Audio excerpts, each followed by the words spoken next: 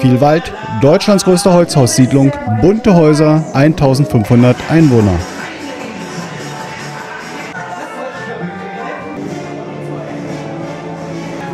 Ein Jahr Vorbereitung, über 40 Mitwirkende aus allen Generationen. 85 Kostüme, aufwendige Masken, opulente Farben. Eine irrwitzige Geschichte, über 40 beliebte Melodien, tolle Stimmung, drei Stunden Programm, viele Überraschungen und noch mehr Spaß.